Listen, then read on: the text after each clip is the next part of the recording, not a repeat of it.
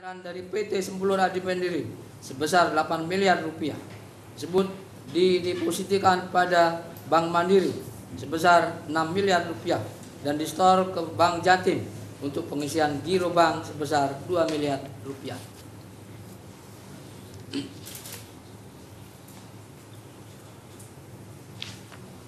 Fakta hukum berikutnya tidak kami baca. Menimbang bahwa berdasarkan fakta-fakta hukum tersebut di atas. Terlihat dengan jelas. Rekayasa lelang yang dilakukan dimulai dari kesepakatan harga yang sudah dilakukan jauh-jauh hari sebelumnya. Dilanjutkan dengan pembayaran. Pada tanggal 30 Agustus 2003 sebesar 8 miliar rupiah. Dan tanggal 2 September 2003 sebesar 500 juta rupiah. Akan tetapi persetujuan rapat umum pemegang saham luar biasa baru ada pada tanggal 3 September 2003 dan taksiran harga dari lembaga appraisal independent yakni PT Satya Tama Graha Tara baru dilakukan pada sekitar pertengahan bulan Oktober 2003 yaitu setelah terjadinya transaksi atau pembayaran atas penjualan aset tersebut. Negosiasi antara penjual yang diwakili oleh Ketua Tim Penjualan Aset Wisnuwardana dengan calon pembeli yang diwakili oleh Sam Santoso baru terjadi pada tanggal 4, 16 eh, Oktober 2003. Padahal pembayar sudah dilakukan pada tanggal 30 Agustus 2003. Selanjutnya penyerahan dan penerimaan tanah dan bangunan di Jalan Hasanuddin nomor 1 Tulungagung antara Wisnuwardana dengan Upoyo Sarjono selaku Direktur Utama PT Sempulur Adi Mandiri tanggal 22 Oktober 2003. Padahal akta perjanjian ikatan jual beli tanah dimaksud dengan nilai transaksi sebesar 4 miliar 750 juta 50 juta rupiah antara penjual terdakwa Dahlan Iskan selaku Direktur Utama PT PWU dengan pembeli Upoyo Sarjono dan Sam Santoso selaku Direksi PT Sempulur Adi Mandiri baru dibuat dan ditandatangani pada tanggal 22 November 2003 dan akta pengosongan dengan nilai transaksi 4 miliar rupiah yang ditandatangani oleh terdakwa Dahlan Iskan selaku Direktur Utama PT PU sebagai pihak yang mengosongkan dengan upaya Sarjono selaku Dirut dan Sam Santoso selaku Direktur PT Sepulur Adi Mandiri sebagai pihak yang menerima hasil pengosongan baru dibuat pada tanggal 22 November 2003 dan seterusnya yang semua itu memperlihatkan dengan nyata. Rekayasa lelang dimaksud. Menimbang bahwa apa yang dilakukan oleh terdakwa Dahlan Iskan selaku Direktur Utama PT Pancawira Usaha Jawa Timur yang bersama-sama dengan Insinyur Haji Wisnuwardana selaku Kepala Biro Aset merangkap Ketua Tim Restrukturisasi Aset dan Ketua Tim Pelepasan atau Penjualan Aset PT Pancawira Usaha Jawa Timur sebagaimana uraian di atas dalam penilaian majelis adalah suatu perbuatan yang menyalahgunakan kewenangan, kesempatan, atau sarana yang ada padanya karena jabatan atau kedudukannya selaku manajemen badan usaha milik daerah atau BUMD PT Panca Wira Usaha Jawa Timur. Menimbang bahwa dengan demikian unsur menyalahgunakan kewenangan, kesempatan atau sarana yang ada padanya karena jabatan atau kedudukan dalam pasal ini telah terpenuhi.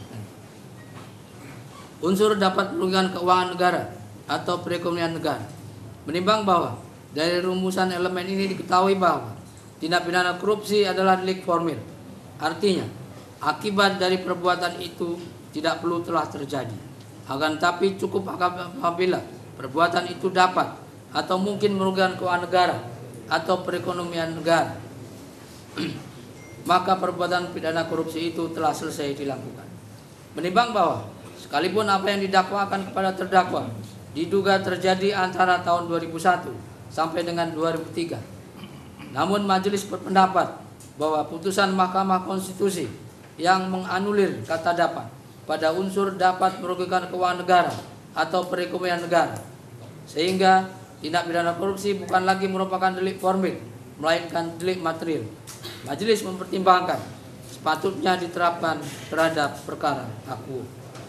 Menimbang bahwa berdasarkan penjelasan umum Undang-Undang tentang Pemberantasan Tindak Pidana Korupsi bahwa yang dimaksud dengan keuangan negara merupakan seluruh kekayaan negara dalam bentuk apa pun, baik yang dipisahkan atau yang tidak dipisahkan, termasuk segala kekayaan negara dan segala hak dan kewajiban yang timbul karena berada dalam penguasaan, pengurusan, dan pertanggungjawaban pejabat lembaga negara, baik di tingkat pusat maupun daerah.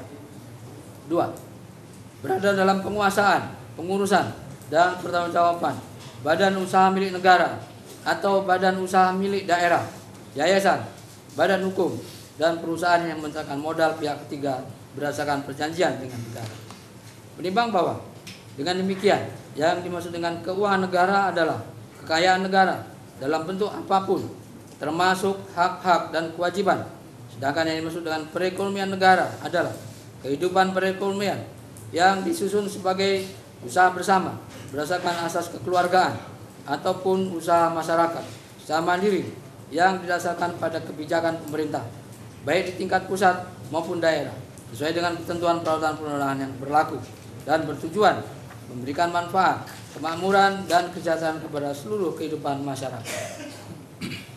Menimbang bahwa yang dimaksud dengan merugikan keuangan negara itu sendiri adalah sama artinya menjadi rugi atau berkurang sehingga dengan demikian yang dimaksud dengan unsur merugikan keuangan negara adalah sama artinya dengan menjadi ruginya keuangan negara atau berkurangnya keuangan negara. Menimbang bahwa fakta-fakta yang terungkap di persidangan adalah sebagai berikut. Bahwa benar nilai transaksi atau harga penjualan aset Jalan Basuki Rahmat Kota Kediri faktanya adalah sebesar 17 miliar sehingga terdapat selisih kurang dari hasil penjualan sebesar 7 miliar 45 juta 12 ribu rupiah. Bahwa benar terdapat pengeluaran-pengeluaran keuangan PT PWU yang berasal dari dan atau berkaitan dengan pelepasan penjualan aset tanah tersebut yang tidak dapat dipertanggungjawabkan atau tidak didukung dengan bukti bukti pengeluaran yang sah. Total sebesar 1 miliar 554 juta 148 ribu 166 rupiah. Bahwa benar berdasarkan data dari sistem informasi manajemen operasional perpajakan pada Dispenda Tulungagung untuk tahun 2003 NJOP tanah dengan alamat Jalan Hasanuddin nomor 1 Tulungagung adalah sebesar Rp285.000 Sedangkan bangunan sebesar Rp264.000 per meter persegi. Sehingga perhitungan jual minimumnya adalah total sebesar 10 miliar 86 juta 816 ribu rupiah. Bahwa benar nilai transaksi atas penjualan aset di Tulungagung tersebut adalah sebesar 8, juta, 8 miliar 750 juta rupiah sehingga terdapat selisih kurang dari hasil penjualan sebesar 1 miliar 336 juta 816 ribu rupiah. Bahwa benar terhadap hasil penjualan aset PWU Jatim yang terletak di Tulungagung tersebut selanjutnya dipergunakan untuk kegiatan-kegiatan atau penggunaan dananya yang tidak dapat dipertanggungjawabkan atau tidak didukung dengan bukti pengeluaran yang sah. Total sebesar 885 juta 136.733 rupiah.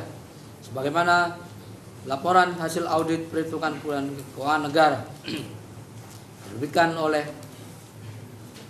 BPKP Perwakilan Provinsi Jawa Timur nomor SR 936 garis miring PW 13 garis miring 5 garis miring 2016 tanggal 17 November 2017 menimbang bahwa terhadap pembayaran terakhir dari PT Sempulur Adi Mandiri atas aset yang terletak di Kabupaten Tulungagung dilakukan pada tanggal 19 Juli 2004 sebesar 20, 250 juta rupiah.